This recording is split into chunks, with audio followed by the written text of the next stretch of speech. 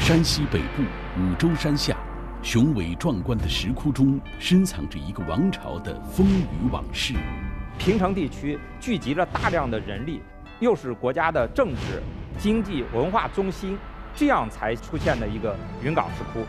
气势磅礴的大佛，妙趣横生的佛传故事，色彩丰富的飞天乐舞。多种佛教艺术造像风格在云冈石窟实现了前所未有的融会贯通，对民族的交流、交往、交融的历史都起到了非常大的作用。石窟规模宏大，融合了多种艺术元素，然而在优美的背后却有着谜团重重。第三窟它的原状到底是什么呢？也是一个谜。本期考古公开课邀请到云冈研究院院长。韩侃带领我们一起探秘云冈石窟。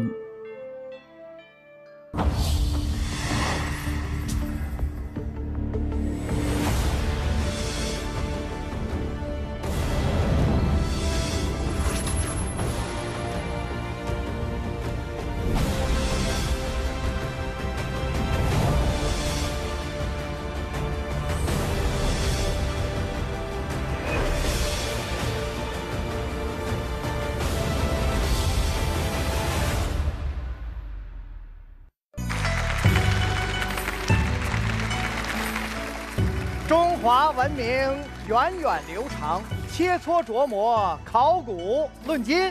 各位观众，大家好！您现在收看的是大型考古历史文化类节目《考古公开课》，我是陈志峰。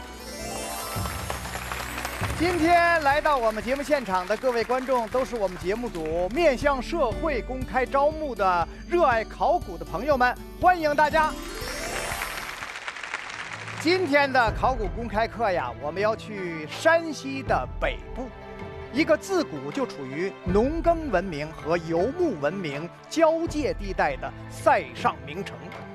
当年秦朝大将蒙恬曾在这里修筑长城，抗击匈奴；汉代王昭君相传也曾在这里弹奏琵琶，含泪出塞。多少次宋辽之间惊心动魄的生死较量。都发生在这里，这就是山西大同。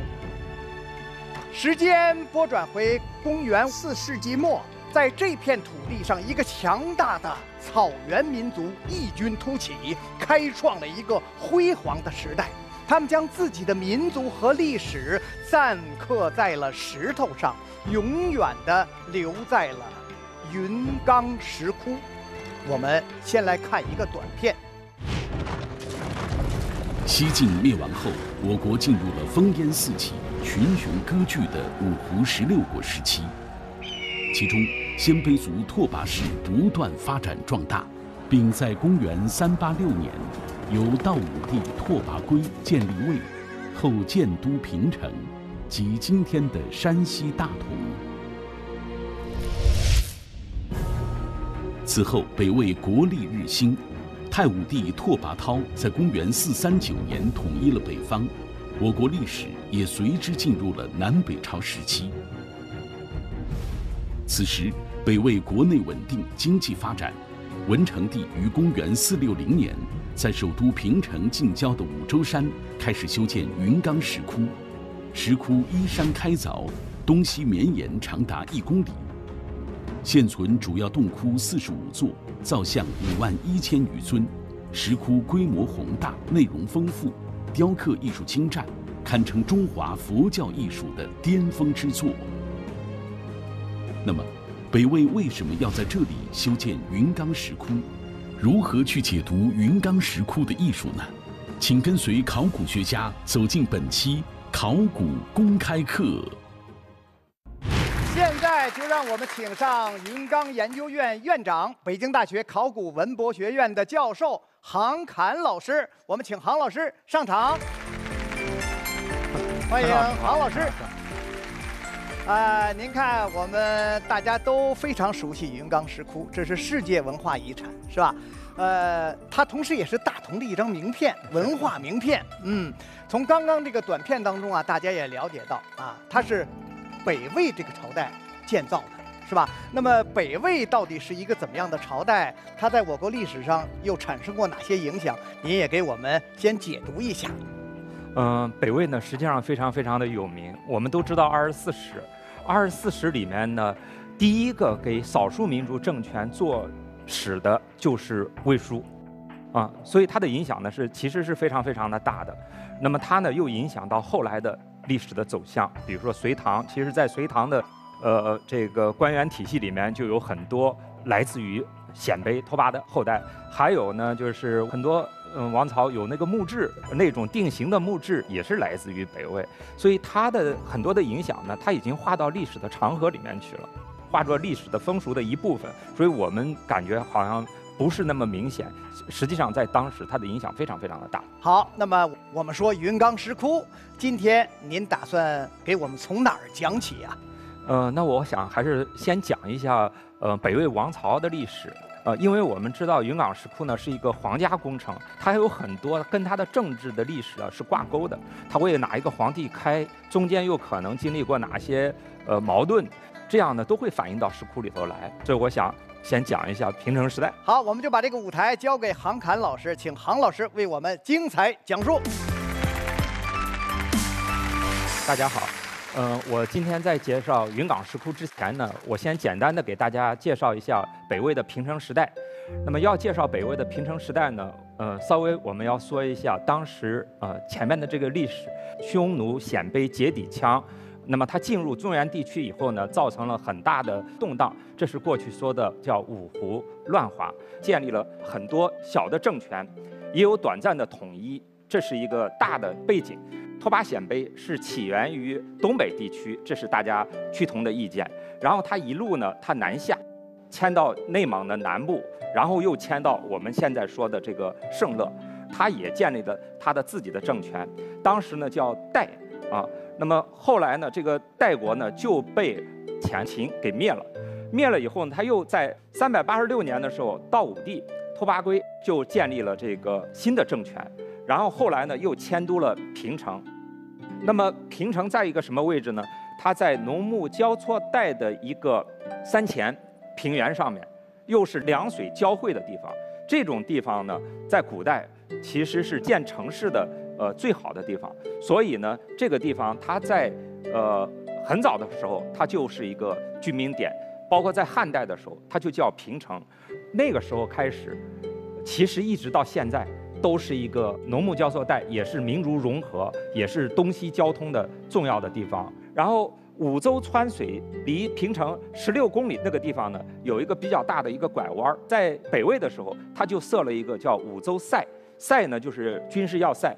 明代在这个地方呢，同样建立了个要塞啊，只是说它不叫这个五洲塞了，它叫云冈，它实际上是个堡，我们说的堡垒的堡，所以云冈呢其实是明代的一个称呼。那么北魏迁都平城的时候呢，就是三百九十八年，然后到了四百九十三年，他们决定来迁都洛阳，那么将近百年的历史，我们称之为平城时代。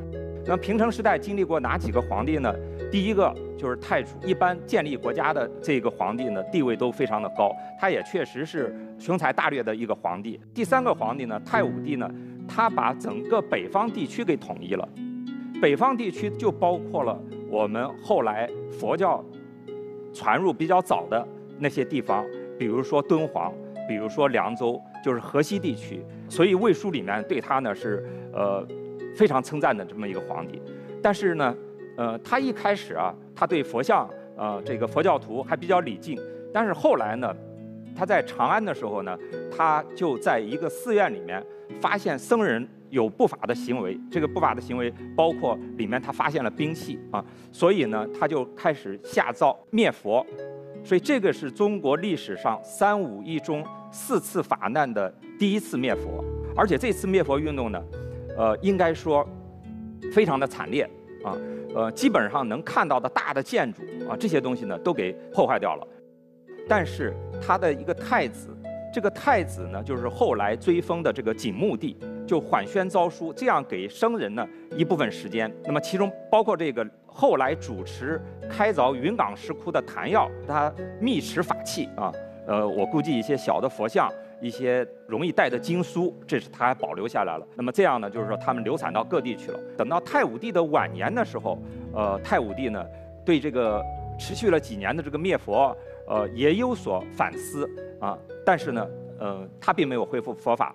接着他的是第五个皇帝，叫文成帝。那么文成帝呢就复法了。那么他为什么复法呢？他当然知道前面的皇帝灭法了。灭法的原因他也知道，但是文成帝看到的是什么呢？文成帝看到的是他对呃社会统治有利的一面儿，呃，比如说他文献里面是记什么呢？他觉得呃这个佛教可以助，就是帮助的助，助王政，也就是王权，助王政之禁律啊，那么禁止的禁啊，法律的律啊，益人治之善性，那么他看到的呢是有利的一方面。所以呢，他们采取的措施呢，就是叫令沙门辅导民俗。他同时在四百六十年，也就是和平元年，他让谭耀主持在我们的五洲山，也就是云冈石窟那个地方开了五个洞窟。这五个洞窟，我们学术界基本上公认，它是为北魏前面五个皇帝开的。那么紧接着平成时代的第六个皇帝呢？就是献文帝，献文帝继位的时候呢，十二岁。你想，大家想，十二岁，他还不是很能自己做主的那么一个少年。就是老臣们呢，就想来这个动摇这个政权。这样呢，就是他做了六年的皇帝之后，他就就当太上皇了。也就是说，他他在十七八岁的时候，他就当太上皇了。然后再过了五年，啊，就是他当太上皇，他又当了五年。在二十三岁的时候呢。就去世了。那么去世的时候呢，文献里面记载也不一样。其中有一种记载就是冯太后把他给杀了。这样呢，就是说这是第六个皇帝献文帝。第七个皇帝呢，就是呃孝文帝。那么孝文帝呢，他继位的时候他只有五岁，所以五岁的一个孩子，大家就更更可以知道了，他背后一定是有呃有高人帮他出招。我们现在都说孝文帝改革，孝文帝改革，其实在。在冯太后去世之前，应该说是冯太后和孝文帝他俩合起来，主要是以冯太后为主的这么一个改革。那么我说这段历史呢，并不是在讲八卦，而是说大家听起来，呃，这个政权在平成时代呢，呃，尤其是在开凿云冈石窟的这一段时间，呃，那么它中间呢，还是充满了很多的政治斗争。补充一点，我说的第三个皇帝。叫这个太武帝的时候呢，他在四百三十九年统一了北方，就把相当的一部分的人迁到了平城。当时有很多的西边来的人，甚至北边来的人，都聚集到了这个平城地区。聚集了多少人呢？在北魏平城时代，聚集了一百多万人口，这是文献里面有统计的。大家可以想象一下。一百多万都是什么人？一百多万都是这种特别有有水平的人，特别有能力的人啊。所以呢，就是我们在研究云冈石窟的时候呢，要有一个大的背景，就是说云冈石窟它是怎么来的？它并不是凭空而来的。平城地区聚集了大量的人力，又是国家的政治、经济、文化中心，这样才出现的一个云冈石窟。所以那个时代，我觉得最能够体现当时的精神面貌的。就是云冈石窟，谢谢大家。谢谢杭老师，谢谢您精彩的讲述。其实我们国家这个石窟有很多，对啊，但是一说到代表性，大家常会说四大石窟，呃，大同云冈石窟，呃，莫高窟石窟，洛阳龙门石窟，还有就是天水的麦积山石窟，啊，您能不能给我们梳理一下，就这四大石窟？啊，最代表性的四大石窟，它的这个呃建造的年代。那么这四大石窟来说呢，第一个呢肯定是敦煌。敦煌。敦煌开凿的早，但是呢这个石质不是特别好，所以最主要呢是泥塑和壁画。呃，它壁画呢那是没啥说的。另外有一个藏经洞，那是无与伦比的啊。所以这些都给敦煌学呢提供了非常好的研究材料啊。那么要说。呃，对后来的石窟，啊，产生巨大影响的，那肯定是云冈。在统一了北方之后，集中了全国的人力、物力和财力，在新疆以东地区开凿的第一个皇家窟，啊，那么这个的影响是非常非常大的。它锻炼了一大批的工匠。龙门呢，占着两个皇家时期的洞窟。迁都洛阳之后，它北魏的时候，它是一个皇家窟；那么到了唐代的时候，它又是一个皇家窟。那么麦积山从北朝一直延续到明清，它都不断的有。它的塑像真的是水平应该是最高的，一般比较细腻。听了杭老师关于北魏历史啊，关于石窟艺术源流的这番讲述，我想啊，咱们光听讲一定非常想去云冈石窟去看一看，有没有这个想法？好，现在呢，我想就请杭老师带领着大家一起去领略一下云冈石窟这处世界文化遗产的风采。我们现在来到的地方呢，是云冈石窟的第二十窟，啊，俗称露天大佛。在这个地方呢，呃，所有的观众都要到这个地方来，嗯，留念，因为它是云冈石窟的一个标志啊。那么也是云冈石窟开凿最早的五个洞窟之一，呃，我们编号呢是二十，呃，这就是所谓的弹药五窟。弹药五窟呢编号是十六、十七、十八、十九、二十。那么这个呢是呃最西边的一座石窟，呃，因为我刚才说这么多呢，实际上涉及到一个我们五个洞窟为五个皇帝开。到底是哪一个皇帝对应哪一个窟的问题啊？那么我们现在可以看一下这个二世窟。二世窟呢，它的主要题材呢是三世佛，啊，就是过去、现在、未来，呃，三个佛。那么中间的那个大佛呢，它是结跏趺坐啊，嗯，旁边的两个呢是立佛啊。立佛呢，这个东边这一身呢保存的比较好，咱们西边那一身呢，呃，坍塌了。三世佛的题材呢，呃，跟云冈。啊，跟这个北魏当时的呃政治局势是有关系的，呃，因为呃，他经过了太武帝的灭佛运动之后，那么再再重新恢复佛法的时候呢，到底开一个什么样的题材啊？那么这个谭耀呢，呃，就是呃选择的是三世佛，过去、现在、未来呢，就表示佛法传承呃有序这么一个概念。那么我们可以看到这一身佛呢。可以用阵容巨壮来形容，因为阵容巨壮呢是文献里面形容云冈石窟的呃这么一个词。实际上它只有十三米多高，它并不是云冈石窟里面呃最大的一身佛，它只是因为它窟前沿塌了之后，它给人的一种视觉感觉。但是我同时觉得呢，这这身像呢确实雕得非常好。我们用两肩齐亭啊，一个蓬勃向上的一个民族啊，它充满自信的时候，它造出来的一种像。啊，所以这尊像呢，代表云冈石窟呢，我觉得，呃，也是当之无愧的。具体到这身像的造像风格呢，呃，很多人问，说它到底是这个云冈石窟是犍陀罗还是摩兔罗的风格呀？那么他在第一期的时候呢，呃，因为主持开凿云冈石窟的坛药呢，也是来自于西边的僧人。那么，嗯，在这个时候呢，就是第一期的时候，他受西方的影响是比较大的。但是具体到一身像。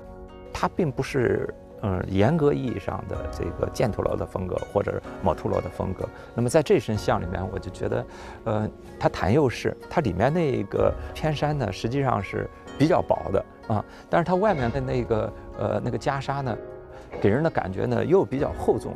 那么你像这个东边这身。立佛呢，薄衣贴体啊，就像穿着袈裟从那个水里面出来以后，潮衣出水那种形式，是吧？但是它的袈裟呢，给人的感觉它又又比较厚重啊，所以呢，我是感觉到就像。素白先生说的，就是呃，云冈石窟呢，它是集中了北中国的人力、物力和财力，那么开凿的第一个皇家石窟啊，它所创造的一种新的这个模式，素先生称为云冈模式，它就是能够反映出来多元文化的一个交融，所以它可以代表着这个云冈一期的一个造像的风格。那么大家看看还有什么问题？我听过一种说法，说，呃，佛呢有三十二相八十种好，这个是什么意思呀？哦，这个呢，就是说，呃，造像的时候呢，一定要遵守一定的仪轨啊。那么，比如说有一本书叫《照相亮度经》啊，那么就是说，呃，你造像的时候，你严格的你身体的比例啊，你这个它的有一些特征，你必须呢，就是都把它呃造出来。那么三十二相八十种好呢，呃，是就是三十二个比较明显的特征。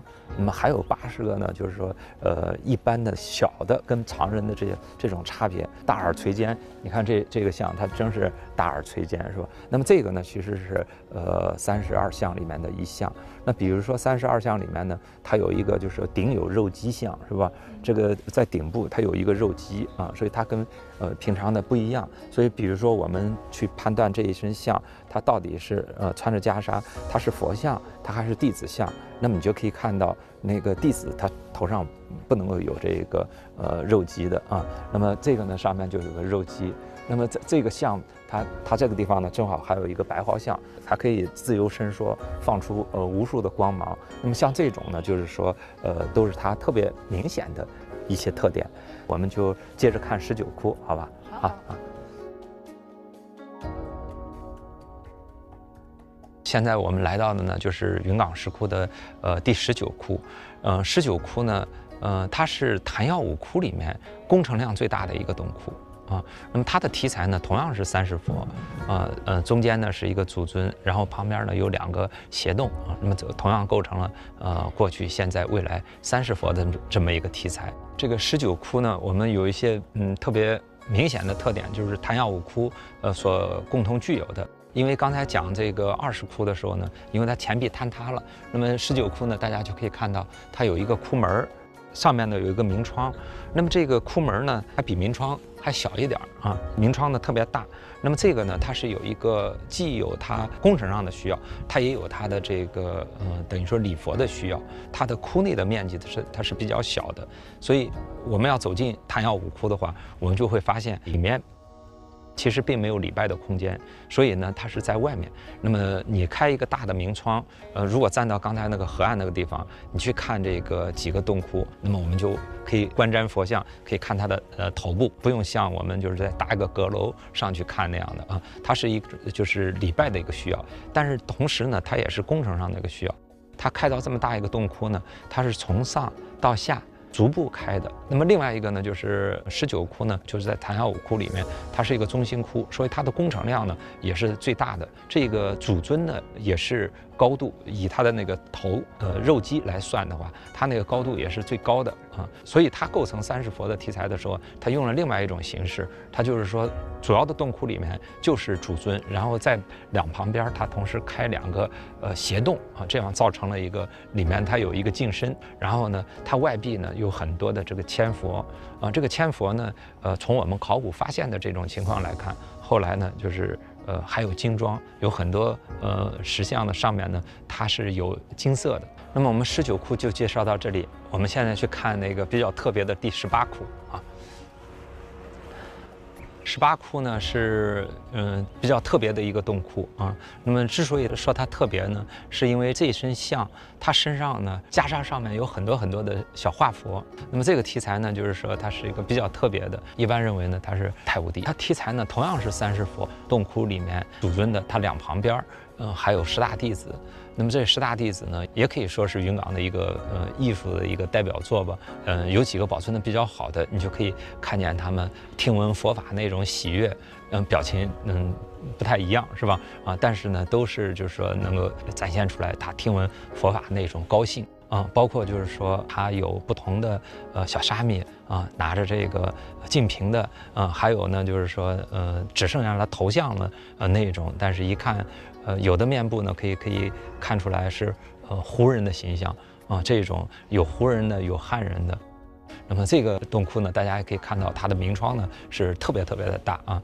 那么明窗开的大了以后呢，我们既可以看佛像看的比较方便，但是它同时会改变这个掩体的力学结构。所以它呃等于说开凿的时候，那时候也没有什么掩体力学啊什么的这种设计，就是在不断的摸索过程当中，所以它工程上面呢不同时期它进行了不同的这个呃修复。那郝老师，他这个身上的很多小洞洞，属不属于您刚刚说到的一些个当时造成的问题？它这个不是问题，它可能是在呃后来。呃，尤其是呃辽金的时候，考古发现看呢，辽代在西京有很大规模的这个造作，包括在云冈。它有呃非常大的这个工程。那么其中呢有一个工程，就是它对这个云冈石窟的造像进行了一次这个修补也好，啊，或者说是泥塑也好。我们现在发现呢，最主要的一个是修补。这个修补的时候呢，它最主要的它就是在身上呃钻了那些小孔，然后那些小孔呢是擦这个小木杆子的，然后呢挂上泥，然后它再进行了一个彩塑。你包括我们罗汉堂上面，它有五层，那个就是石胎，它这个等于说只剩下一个石胎了，风化的比较严重，所以它在身上呢就钻了那个小孔，然后那木头橛子什么都在，然后呢挂着泥，然后修，关键是它留下了五层，就不同时期的，大家就可以想象啊，那你说它这个这种彩塑还是比较多啊，所以那个孔呢，我是觉得它维修像的时候。或者说挂这个泥塑的时候，这个时候留下来的。那么后来泥塑又没有了，所以留下来一排一排的孔。那我们现在呃介绍第十七窟。十七窟呢，其实呃又是一个嗯题材比较特别的，呃，因为在这里面的像其他几个都是佛像，这个像呢它是一个菩萨像啊，所以我们说的嗯菩萨像。那么菩萨像呢，它的坐姿呢也比较特别，它属于那种娇娇弥勒。弥勒呢，它是。嗯，未来才能成佛的。那么未来才能成佛的时候呢，他在现在呢，他就还是菩萨。所以啊，他的这个等于说修行到了一定的神格了，但是呢，他毕竟还不是佛，所以他不是像刚才说的三十二相啊、八十种好呀，啊，他有那个顶有肉鸡相啊，他不能这样，他还是带的这个菩萨观。大家如果仔细看这尊菩萨像的时候，还会发现有一个细节啊。它这个细节呢，就是在它的这个胳膊肘这儿，啊，它垫了一个就是像束帛，我们像束帛一样的啊，那个到底是什么也也不知道啊，但是呢，就垫着这么一块东西，啊，垫这块呢，它在云冈的大象里面，这还不是唯一的啊。那么它为什么要垫这块东西呢？其实它是跟这个它的造像。手势是有关系的。他如果做禅定印的话，他没有这个问题。但是他如果是手伸出来，不管是做哪一种姿势，他只要手伸出来的时候呢，他就会呃有这么一个悬空。多一点的时候，它这地方呢，它就有一个有一个支护啊。好，我们现在看到的呢，就是昙曜五窟。呃，最东边的一个洞窟，第十六窟。第十六窟呢，从造像题材上来说呢，它是一个呃立佛。然后这个立佛呢，它比较特别，它是穿着宝衣博带的袈裟。呃，它和我们呃坛釉式呢、通间的这种袈裟呢都不一样。它完全是一种中国化的这种袈裟形式。所谓的宝，嗯，和博都是大的意思。啊，那么这个呢，呃，服装呢，应该是说是汉族。啊，官员这个文人穿的这么一种呃服装，所以这个呢，也有人认为呢，它是受呃南朝这个文化的影响产生的这么一种形式。呃，它这里头有一个特别特别大的一个就是宝衣啊，这个衣服比较宽大，然后还有一个薄带，那么可以在这个像里面可以充分的体现出来。那个带子一直到这儿，就像一个一个大领带一样。我们领带现在都打的没有那么整齐啊，所以这个佛像呢，呃，它为什么特别呢？呃，就是。一般认为，它就呃代表着呃当时主持呃开凿云冈石窟的呃文成帝啊，在四百六十年，他让谭耀来开，但是实际上北魏的这个石窟，它和呃皇权的这个结合度是很高的，所以呢，呃这个像呢。代表着是呃文成帝啊，呃这么一个呃题材，所以它的呃造像的形式啊，干什么就比较的特别。北方的这个佛教呢，它是跟呃皇权结合的是呃很密切啊，所以这样一来呢，就是说呃有昙曜五窟。呃，这么一种给帝王造像，帝王就是当今如来的这么一种思想。那么从它的形制，说我是洞窟的形制，包括这个造像的题材，都可以呃反映出来这一点。那么另外一个呢，就是昙曜五窟，它有很多的外来的呃这个造像的因素啊，可是呢，它的这个样式呢，还是一种嗯融合了各种元素。然后出现的一种呃蓬勃向上的一个民族的当时的一个精神的一个写照。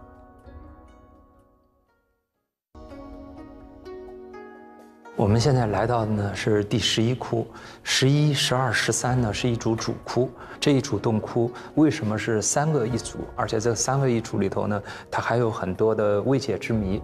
比如说，嗯，我们现在进到这个洞窟呢，它叫中心塔柱窟。那么就是进来了之后，它有这么一个像佛塔一样的。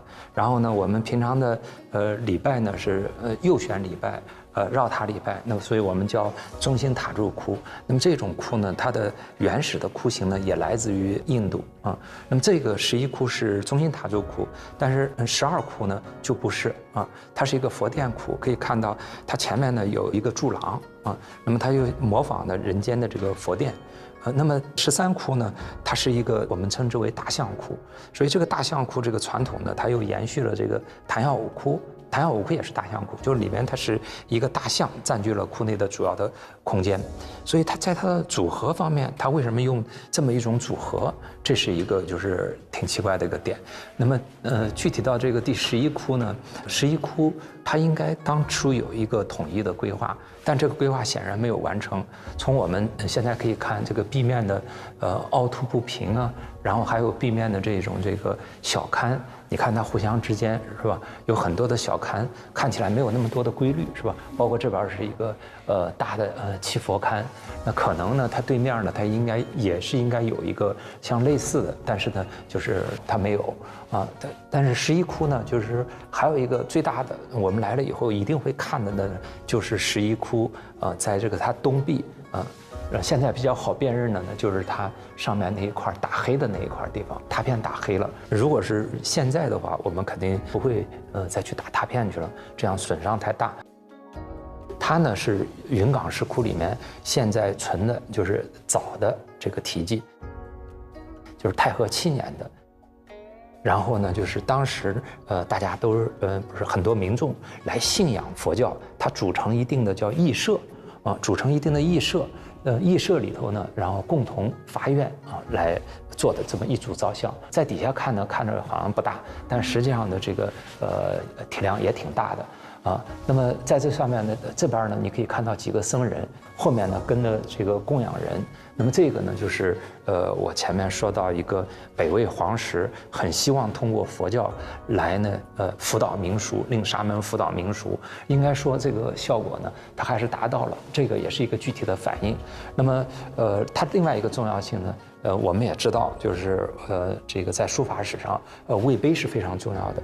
但是魏碑呢，它的成熟期，呃，在洛阳，所以我们知道的有龙门二十品，是吧？但是呢，实际上，呃，什么事情它都有一个发源。那么在这个地方，啊，魏碑呢，肯定是我们把平城的这种书法称之为呃魏碑之源。还有一个问题，就是涉及到刚才我说的这个洞窟，它应该有一个统一的规划，可是没有完成。那么这个时候呢，很可能它的开凿的方式，包括它的这个工程的组织，都可能发生了一些比较大的变化啊。你比如说这个弹药五窟的时候，那就是弹药。啊，在那儿负责着。正是因为就是说，它可能是皇家的工程的时候，我明明知道就是这是皇家工程，所以它可能就是在这个弹药武库的时候，那时候呢不需要太多的体积。可是呢，呃，这个洞窟呢，它就进来了这个民间的力量。那么民间的力量呢？我开窟开一个龛，我造一个像，然后到了那边呢，这组像呢是另外一个义社或者另外一个供养人。那他这时候呢想记自己的功德的时候呢，他就反而有造像题记了。所以我们看到很多民间的造像。啊，包括就是我们的造像碑单体造像，它反而有比较多的这个题记啊。我们现在来到了第十二窟，特别有幸啊，因为这个洞窟呢，经过了这个九年多的维修啊，也是刚刚开。那么这个洞窟呢，非常受关注，就是因为这个窟呢，它的题材呢比较的特别，我们把它呃称之为音乐窟。这个窟形呢叫佛殿窟。啊，我们从外面看的时候呢，呃，看到三个柱子啊，看的不是特别清楚。但是从这边看，大家可以看到中间的两个柱子呢是小的八角柱，八角柱上面呢都有这个佛像的雕刻。那么这个呢，它应该是模拟地面以上的佛殿。那么呃，尤其是从我们最近的一些考古发现来看，发现了在墓葬里面发现了那个呃石椁。那么石椁上面呢，那么它有这种仿木结构的石椁，也可以看得出来，后面呢是一个殿堂式的，前面呢是一个带廊式的，啊，那么说明呢，他们当时啊，这是一个时代的一个共性。还有一个吸引人的地方，就是大家请看上面啊，上面这边呢有一个呃穿红裤子的，他就像正在打的节拍一样的。那么这个人呢，我们一般认为呢，他是在打节拍，而不是说他在跳舞，因为在这个里头呢，也有很多舞蹈的形象。那么他呢，在指挥整个一个乐队。那么我们现在除了这些舞蹈的人之外呢，我们可以看到这上面的这个藻井，非常的醒目，是吧？啊，那么藻井呢，就是我们天花板上的一种装饰。那么我刚才已经介绍的这个洞窟呢，它是一个佛殿窟。那么佛殿窟它上面呢，它为了显示这个建筑的等级，那么它有这个天花板，那么上面都是藻井，然后各种各样的这一个飞天呢，飞舞其间，一片这个佛国的喜悦的气氛就这么被烘托出来了。那么大家可以看到，这整个音乐库里面的演奏乐器的人特别多。那么有几个呢是特别大的啊，我们可以看的，呃，比较明显啊。比如说像这边这一个，他拿着这个曲靖的琵琶是吧？然后旁边呢就是吹着竖笛是吧？啊，然后这边呢是腰鼓啊，这个指挥的旁边这个是腰鼓啊，这边是节鼓啊啊，所以这边呢这几个这几声呢是比较明显的啊，比较因为体量比较大。啊，然后还有呢，其实它的这个呃乐器呢，你看这一排其实也是拿的乐器，对吧？啊，但是最全的呢是明窗上面那一排啊，那一排的乐器呢是很全的，它遍布啊都是各种各样的祭乐人吹奏各种各样的呃乐器啊，有打击乐啊，有吹奏的啊，还有弹拨的啊。那么据统计呢，这里面有将近五十声的。这样的这个呃祭乐形象，然后呢拿着呢呃大概十七种的乐器啊，烘托一个气氛啊。但是呢，如果是换到人间，佛国毕竟是人间，那么换到人间呢，它一定是当时的一个宫廷的音乐。那么这里面的乐器呢，呃有中国的，有来自于国外的啊，来自于这个丝绸之路交流的啊。那么有一个问题，它能不能变成一个中国的一个好声音？我们呢也挺想。把它做成一场音乐会的，但是呢，这里面有的乐器呢就是常用，有的乐器呢现在不常用，怎么把它组合成一个非常动听的中国好声音，这也是一个问题啊。但是不管怎么说，呃，进到这个窟的时候，我们就能够感觉到耳边仿佛就响起了各种各样的好听的这个音乐。那么这个是佛国世界的吸引人的地方。那么这个洞窟呢，我们就介绍到这儿，我们下去再看另外一个洞窟。那么我们现在来到呢是第十三窟，十三窟呢它是一个大象窟，这里面也也是有很多的谜。你看这个高度啊特别高，是吧？那么这个呢它是一身米勒，然后它有一些早期的特点，你又包括就是说这个洞窟的平面也是祖尊占据了窟内大部分的空间，还有呢就是说它这个辅助的那种纹样啊，那么它呢有早期的特点，它这个脖子上。这种这个蛇形式是有一些学者觉得他能够接这个昙曜五窟，在这个像里面呢，除了我说的这个呃造像题材，你如果说是大象窟，那么它代表着什么？这个也是呃争论不休的问题。还有一个呢，这个到这地方来的一定要会看到的，看到就是这个他手下的呃这一身像。那么这一身像呢，呃我们在这儿看的好像不是太大，但是其实呢，它有将近两米高。那么它同样，它也是起到一个支撑的作用。那么在这个经典上面，它并没有过多的这个依据。我们下面去看另外一个洞窟。我们现在参观第九窟，一进来之后，它是一个等于说中国式的一个殿堂。它和那个石窟呢，它是一组成组的双窟。它两个洞窟呢，呃，很相似，啊，布局也很相似，啊，造像题材也很相似。那么在云冈的第二期。为什么会出现这么一组双窟？这个学术界呢，就是一般的认为呢，要结合当时的历史背景，就是呃孝文帝还小，实际的政权是掌握在冯太后手上。那么在冯太后活着的时候，呃，我们所谓的孝文帝改革，其实很多呢是冯太后改革，所以有很多的造像呢，呃，就是为他们两个呃去造作的啊，包括这种双窟的形式。那么它同时呢，还有一个可以介绍的呢，就是塔柱的形式，它是其实是还是模仿这个殿堂。那么它跟呃我们第一期介绍的呃那个穹窿顶的窟，不是一般的草庐，而是说模仿的游牧民族的那种大的毡帐然后那个祖尊占据窟内大部分空间呢，它就有一个很大的变化。那么这种殿堂式的呢，结合着文献呢，就是在孝文帝的时候，当时呢，很倾慕这个南方的呃文化啊，甚至认为呢那是文化的正朔所在啊，所以当时呢有北魏的大臣出使到这个南朝去，然后一看南朝那种宫室制度啊，他们就呃就等于说记录下来了啊，然后呢呃就要来改变那种呃像那种穹庐式的生活，呃要建那种。呃，殿堂式的，那么这个呢，可以说就是当时的一个反应啊。还有一个呢，就是可以看到佛教艺术的一个中国化。那么最明显的一个特征，比如说这边啊，那么三尊佛像啊，中间一个焦焦弥勒，两边两个四维菩萨，是吧？有两根柱子，这个柱子呢是应该是中国式的这个建筑，这个柱子有一斗三升的斗拱，有中国像屋殿顶这样的一个屋顶。那么这个是中国式的，但是你到这边看。那么这个藏龛里面呢，呃，它这个柱子，它上面呢，它有两个小卷卷窝，是吧？那么这个呢，就是说埃尔尼柱式、希腊式的东西。它一方面呢，它有这个西来的因素，但是另外一个方面呢，它的主体呢又是呃中国化的东西文化，呃，在这地方呢有一个交流，又有一个容纳吸收的一个过程。就是梁思成先生呃说的，他说你进了这个洞窟，你到处都可以看到西来的这种纹样。是吧？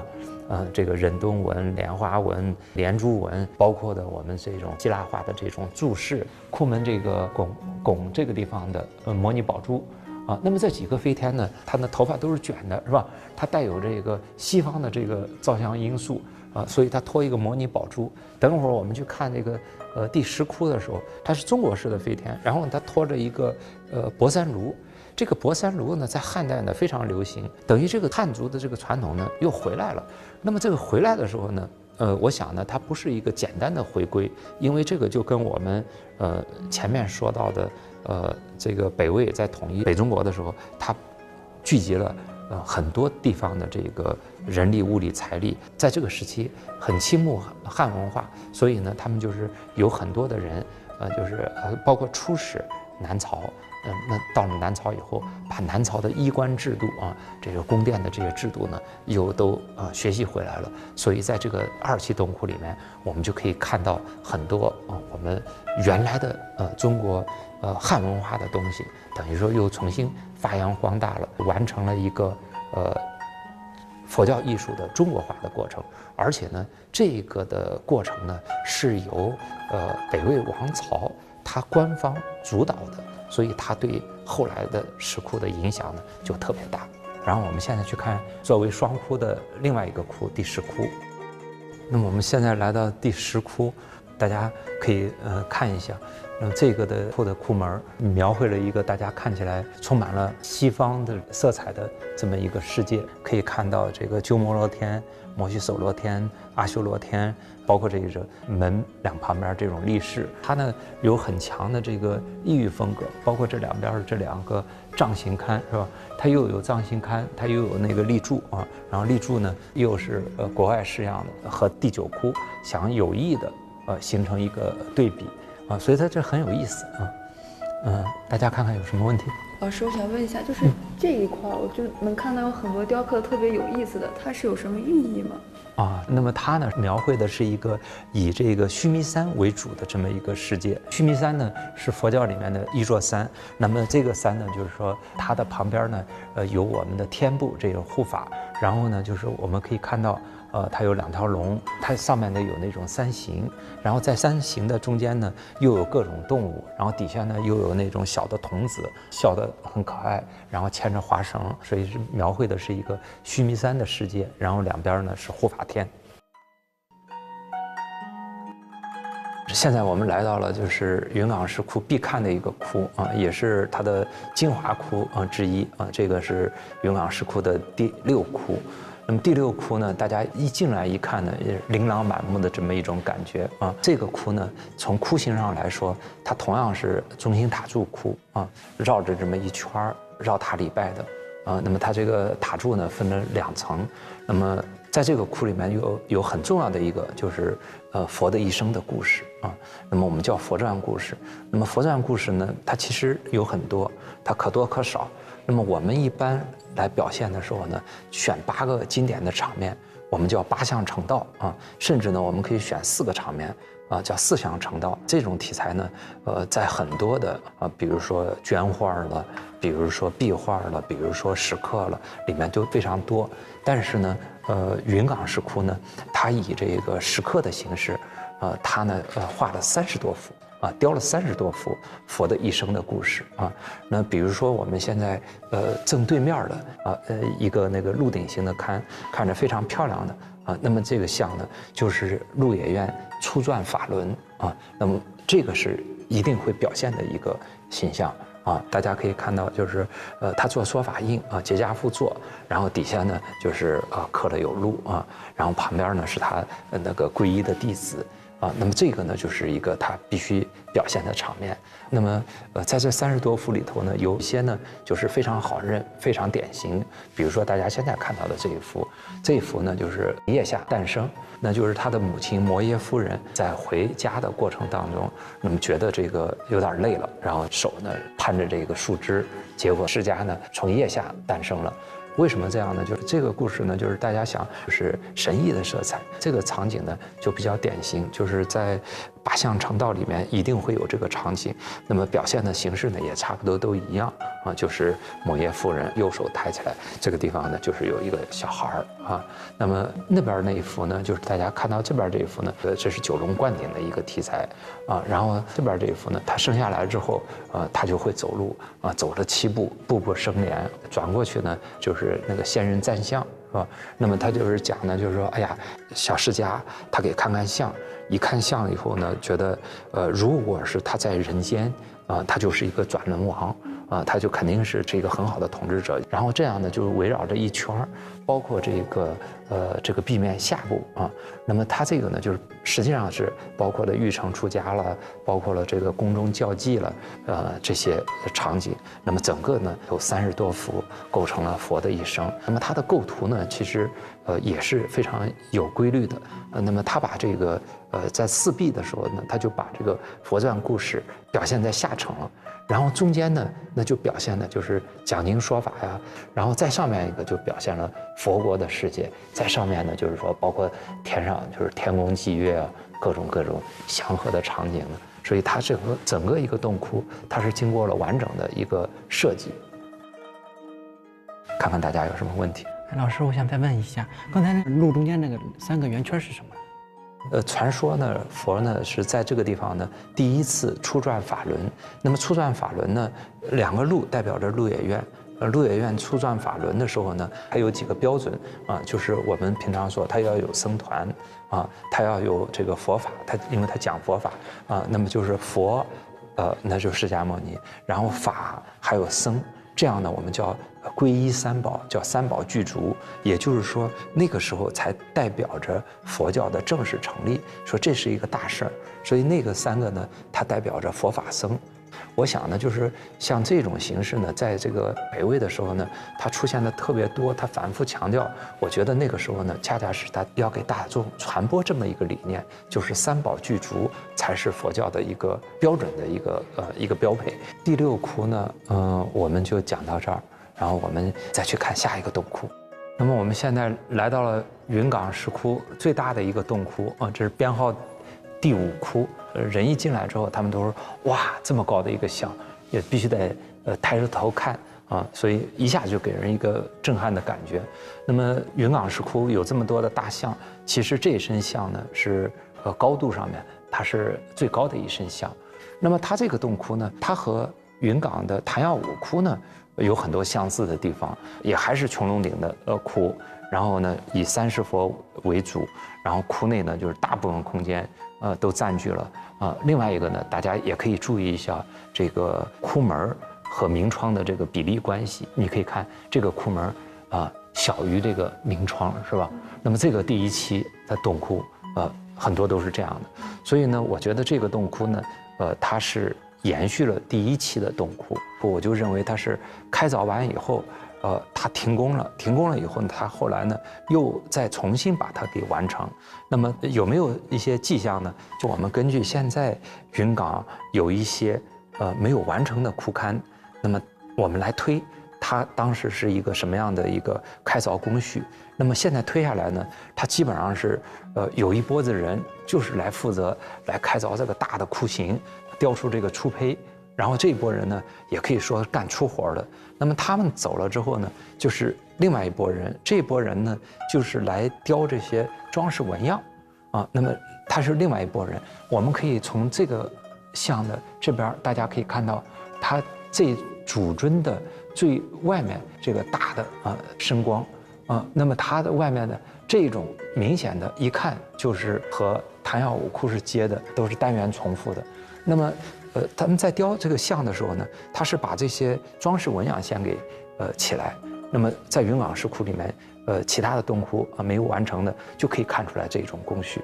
那么再一步呢，就是这个祖尊，祖尊呢，尤其是他的面部，啊，那个呢是要大师傅去开的。那么这样一来呢，就是这个像呢，它的呃装饰纹样应该它雕的比较早，它已经完成了，它是早期的。但是这尊佛像呢，在这个时候呢，这个呃大的佛像它还没有完成，没有完成呢，它中间停工了。那么停工了以后呢，再过来再开的时候，那么它就呈现了二期呃晚一点的这个特点啊。那么就是说，呃，它又重新把它给做完了。那么我个人推测呢，如果结合当时的背景呢，我推测这个是给献文帝开的。啊，所以这个石窟的呃整个一个研究呢，它会是一个很复杂的一个过程。老师，我想问一下，就是当年北魏他们开凿的时候嘛，就是工匠如果说不小心就是一个地方凿坏了，就是当时是怎么补救的呢？这么大一个工程啊，它嗯绝对不可能说它一点问题都不出啊。它这个问题呢，有它雕错的啊，或者是它一凿子可能是打一点雕坏的，嗯，还有呢就是说石质不好的这种情况下呢，那个能工巧匠他都会想办法。呃，进行补救。你比如说这个实质不好的呃地方呢，从云冈来看呢，它就直接把软弱那一块取出来，然后再用一块大小相近的再把它嵌进去，然后把衣纹顺下来啊。这种呢，呃，它是一种补救方式。包括衣纹如果有一点错的话，呃，像这个呃火焰呢，那它都会是当时就改啊。这个呃都可以看到。所以整个一个洞窟呢，这种迹象呢，其实。在云冈呢，还真是保留下来了一些，所以可供我们做研究。说我们知道他们这么一个，呃，怎么样去补救的一个过程。所以对呃石窟的研究来说呢，不仅仅是那种呃艺术水平、艺术造诣特别高的，我们要去注意没有完成的、补凿的，呃，甚至带残缺的这些东西呢，我们也要注意啊，这样才能呃提出更多的问题。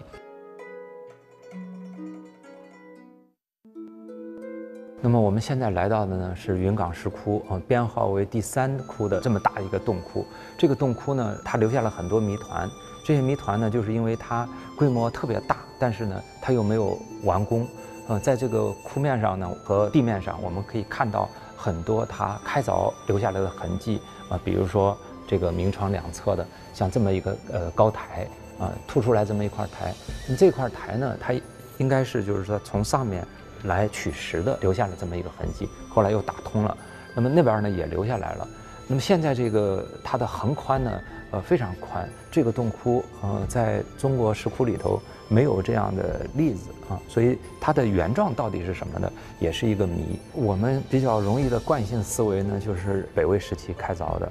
啊，然后这些迹象呢是北魏时期留下来的，但是呢不一定啊。比如说很明显的就是我们身后的这一组像，如果从呃采石来说，可能呃我们脑补一下的话，呃它原来应该可能是首先是这么一个比较呃平的工作面，那么它完成这个面儿之后呢，可能工程就停了，然后后来才开凿了这么一组像，那么这个时候呢就和北魏呢已经有一段呃比较大的距离了。那么关于这组像到底是什么时候的？是认为这个呃隋的，也有认为是初唐的，也有认为是辽的啊，所以这个说法不一样。但是呢，就是呃素白先生呢，呃他呢是结合的历史的背景啊，他呢就是觉得呃是初唐的可能性比较大。那么这个呢是现在学术界呢普遍采用的一个观点，包括这种菩萨像小腹微微的呃有一点凸啊，包括呢就是说他身上尤其是在肩膀这个位置。啊，你看，就这个肩膀位置给人的感觉，就是像一个那个泥条啊，或者一个绳子，呃，这样在寨身上一样的。像这种呢，就是呃唐代的比较典型，包括泥塑上也用的比较多。所以呢，一般认为呢，这组像呢是初唐的时候呃开凿的，啊，那么在这个地方呢，它原来的设计呢，从现在的看呢，它肯定是要把后面给掏空，啊，就是形成一个就是回廊的形式。但这个回廊呢，究竟有没有那么长，是另外一个讨论的，啊，所以这个洞窟呢，呃，它的原状是什么样的，啊，究竟想设计成什么样，啊，包括就是各种遗迹的年代，还都是值得进一步讨论的地方。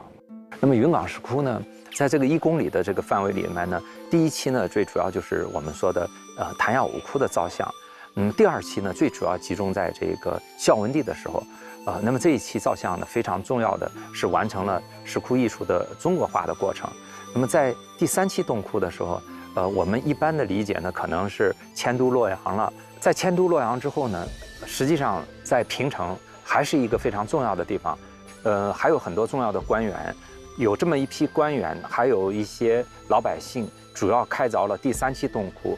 第三期洞窟呢，主要是位于二石窟的西边，但是那是集中的分布。实际上，在这个整个云冈的洞窟的这个一公里多的这个窟群里头，呃，都有三期的造像。另外一个问题呢，就是说这些工匠，呃，有些工匠呃迁到洛阳去了，有些工匠呢可能还到其他地方去了。但是呢，呃，在平城。还保留了一大批工匠，而且这一批工匠呢，可能是迁都洛阳之后，他有了更自由的发挥啊，所以呢，第三期其实也不乏艺术的精品。